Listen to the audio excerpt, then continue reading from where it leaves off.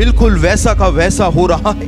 एक पूरा ब्लूप्रिंट जो है भविष्यवाणियों का तैयार है, जिसके द्वारा कोई भी ऐसा व्यक्ति जिसका विवेक जगा हुआ है, वो इस बात को समझ सकता है, जान सकता है कि आज वास्तव में ही कुछ अद्भुत काम इस संसार में हो रहा है। लेकिन एक तरफ़ जहाँ भविष्यवाणियाँ पूरी हो रही हैं उसी समय दूसरी तरफ़ इज़राइल जो है, वो आज एक संकट में फंस गया है। इज़राइल जो है, उसकी ईरान देश के साथ दुश्मनी जो है, वो बढ़ती चली जा रही है।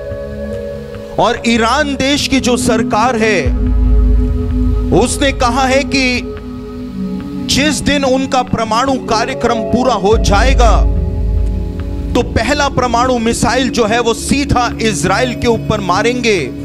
और इसराइल का नामो निशान दुनिया के नक्शे के ऊपर से मिटा देंगे।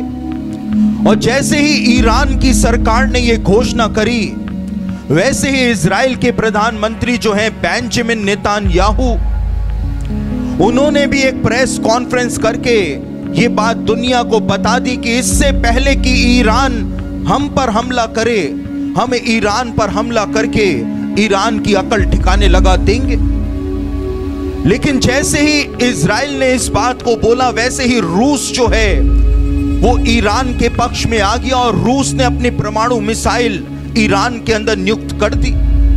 दूसरी तरफ़ जो है, चीन जो है, वो ईरान के पक्ष में खड़ा हो गया और चीन ने अपने वायुसेना को, वायुसेना के जो लड़ाकू विमान हैं, उनको 24 घंटे सातों दिन हाई अलर्ट के ऊपर रखा हुआ है कि यह जैसे ही इज़राइल ईरान पर हमला करे तो चीन की वायुसेना के लड़ाकू विमान जो हैं, वो इसराइल पर हमला करने निकल जाएँगे।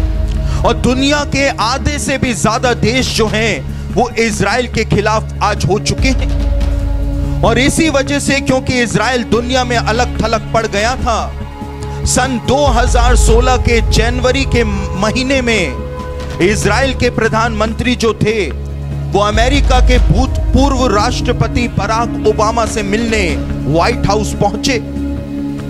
और उन्होंने राष्ट्रपति महोदय से कहा कि आप मुझे ईरान पर हमला करने की अनुमति दे दीजिए, क्योंकि यदि ईरान को नहीं रोका गया तो इज़राइल का नामो निशान केवल इतिहास की पुस्तकों में ही पाया जाएगा। लेकिन अमेरिका के जो भूतपूर्व राष्ट्रपति थे उन्होंने इसराइल के प्रधानमंत्री को साफ़ साफ़ शब्दों में मना कर दिया। और उन्होंने कहा कि यदि ईरान परमाणु हथियार बना रहा है तो उसको बनाने दिया जाए। और कई बिलियन डॉलर की आर्थिक सहायता राशि उसी समय इसराइल के प्रधानमंत्री के सामने ही दस्तखत करके राष्ट्रपति ओबामा जो थे, उन्होंने ईरान के लिए उसको पास कर दिया। और इज़राइल के प्रधानमंत्री जो थे, उस चीज़ को देख करके जल गए। और उसके बाद ये ये तस्वीर जो आप देख रहे हैं, इसी इसी सभा में, इसी मीटिंग में, इज़राइल के प्रधानमंत्री ने राष्ट्रपति ओबामा को एक कहानी सुनानी शुरू करी। और इज़राइल के प्रधानमंत्री ने कहा कि, राष्ट्रपति महोदय, मेरी बात ध्यान से सुनिए। आज से कई हज़ार साल पहले भी ये ईरान के जो लोग थे, ये हम यहूदियों के खिलाफ खड़े हुए थे। बाइबल के अंदर ईरान को फारस नाम से संबोधित किया गया है। और इसराइल के प्रधानमंत्री ने कहा कि ये फारस के जो लोग थे, आज से हज़ारों साल पहले भी हमारे खिलाफ खड़े हुए थे। रानी एस्तर के समय में और उस समय भी इन्होंने ऐसा ही एक षड्यंत्र बनाया था कि एक ही दिन में सारे यहूदियों को मार डाला जाए। लेकिन परमेश्वर ने रानी एस्ते, एस्तेर को भेज करके उस षड्यंत्र को विफल कर दिया था। और इन्होंने राष्ट्रपति ओबामा से कहा कि राष्ट्रपति महोदय, इस बात को याद रखना कि परमेश्वर हम यहूदियों को तो कैसे भी बचा लेगा। लेकिन उसके बाद आपका क्या होगा? और उसके बाद उन्होंने इजरायली सरकार की तरफ़ से ये स्क्रॉल जो था, वो राष्ट्रपति ओबामा को गिफ्ट किया। और ये स्क्रॉल जो है, मेरे प्रियो, इसके ऊपर एस्तेर की पुस्तक, हिब्रू भाषा में पूरी लिखी हुई है एक ही स्क्रॉल पर। और इसराइल के प्रधानमंत्री ने राष्ट्रपति ओबामा से कहा कि व्हाइट हाउस में अपने दफ्तर की दीवार पर सामने की तरफ़ आप इस स्क्रॉल को लगाना। क्योंकि जब जब आप इस स्क्रॉल को देखोगे, इस एस्तर की किताब को दीवार पर टंगा देखोगे तो आपको यह बात समझ में आ जाएगी कि हम यहूदियों का कोई कुछ भी नहीं उखाड़ सकता है, क्योंकि परमेश्वर हमारी ओर है। और उसके बाद वो वहाँ से निकल करके इसराइल चले गए। और इजरायली सेना को उन्होंने आदेश दिया कि 24 घंटे सातों दिन हाई अलर्ट पर रहो, क्योंकि मैं किसी भी समय ईरान पर हमला करने का आदेश दे सकता हूँ। और मेरे प्रियो, इज़राइल जो ईरान के ऊपर हमला आता है, उसके बारे में आपको एक भविष्यवाणी जो है वो यर्मिया भविष्य वक्ता की पुस्तक उसका फोर्टी नाइन्थ चैप्टर और उसके 34 से 36 के अंदर मिल जाएगी। यर्मिया 49, 34 से 36 में एक अद्भुत भविष्यवाणी परमेश्वर ने दर्ज कराई है। यहाँ पे परमेश्वर कहता है यहूदा के राजा सिद्धिया के राज्य के आरंभ में यहुआ का ये वचन यर्मिया भविष्यवक्ता के पास एलाम के विषय में पहुँचा।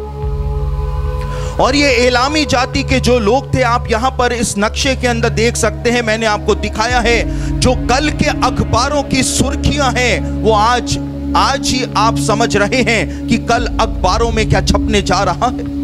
आप यहाँ पर देख सकते हैं, इस नक्शे में मैंने दिखाया है कि ये फारस की खाड़ी जो है, ब्लू कलर से आपको यहाँ पर दिखेगी। और फारस की खाड़ी के किनारे का ये क्षेत्र जो है, यहाँ पर इलामी जाति के लोग रहा करते थे। और ये पूरा क्षेत्र जो है, इसको आज ईरान देश के नाम से जाना जाता है। लेकिन परमेश्वर ने पूरे ईरान देश के लिए नहीं, लेकिन ये लाल लाल रंग का स्पॉट जो आपको दिखाई दे रहा है, इस क्षेत्र में इलामी जाति के लोग रहा करते थे। इस क्षेत्र के लिए परमेश्वर ने यर्मिया से भविष्यवाणी कराई थी।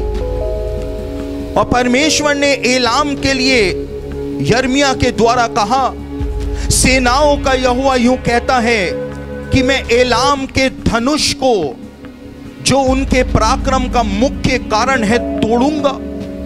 और मैं आकाश के चारों ओर से वायु बहाकर उन्हें चारों दिशाओं की ओर यहाँ तक तितर बितर करूँगा कि ऐसी कोई जाति ना रहेगी जिसमें एलामी भागते हुए ना आए।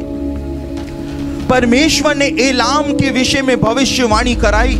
और आज जब इसराइल ईरान के ऊपर हमला करना चाहता है तो इसराइल ईरान के इस परमाणु प्लांट को बमों से हवाई हमले के द्वारा उड़ा देना चाहता है।